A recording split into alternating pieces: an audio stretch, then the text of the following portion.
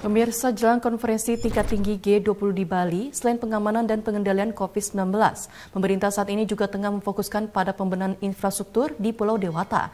Hal itu tertuang saat tiga kementerian menggelar acara bersih-bersih sampah di objek wisata hutan mangrove di Pasar Bali baru-baru ini.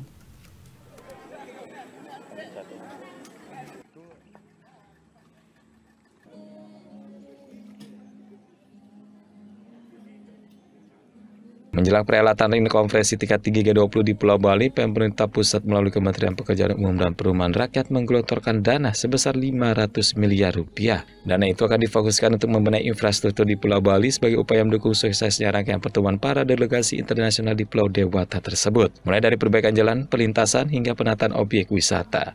Hal tersebut sebagaimana disampaikan oleh Wakil Menteri Pekerjaan Umum dan Perumahan Rakyat John Wempi Wetipo seusai melakukan bersih-bersih sampah di objek wisata hutan mangrove dan Pasar Bali baru-baru ini. Ini salah satu bagian dari sekian banyak yang tadi saya bacakan ya. Eh, kita anggaran kurang lebih sekitar 500 miliar untuk dukungan untuk eh, G20 di tahun 2020. Di empat provinsi Pak ya? Hah? DKI, Bali, NTB, NTT Pak ya? Iya, itu penugasan di luar dari Bali. Oh, di luar Ya. Bali. Tapi kalau untuk khusus untuk di Bali, yang 500 khusus untuk di Bali, Oh.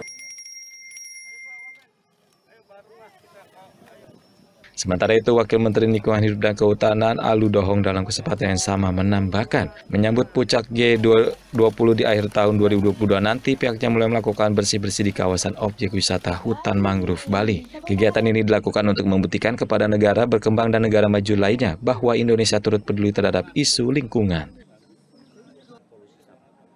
kan hari ini masih langkah awal.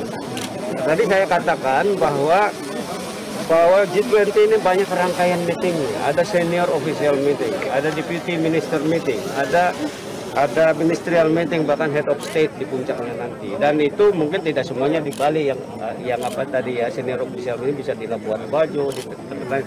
Tapi Bali pasti banyak yang melakukan kegiatannya di sini. Karena itu sejak sekarang kita mulai bersih-bersih tuh sampah segala macamnya supaya tadi tamu-tamu dari negara lain bisa melihat oh Indonesia itu bersih indah ya